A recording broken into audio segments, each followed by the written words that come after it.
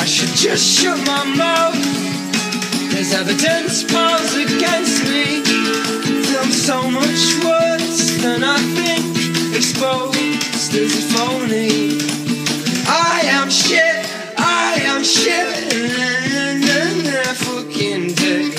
I am shit. I am shit.